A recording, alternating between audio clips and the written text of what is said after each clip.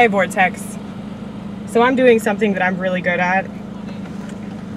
I'm changing in my car because it's so hot that I don't want my jeans to stick to my legs the way that my legs are sticking to the seat.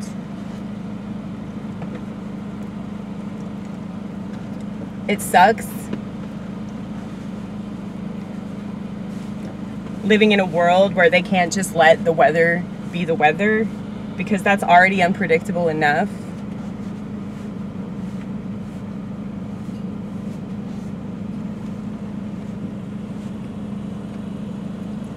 After a while, you get really accustomed to these news stories um, being terrible and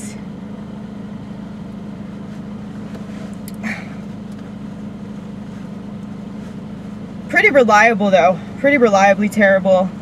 Pretty reliably uh, redundant.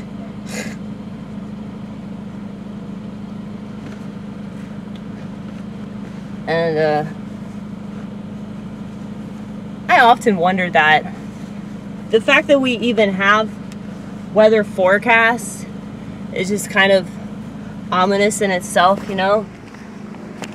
It's like that should already be kind of a red flag. They have an entire news team that is is dedicated to predicting the weather.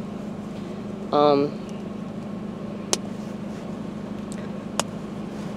I mean, how is the news media not playing God already? The news is supposed to report the news, not like um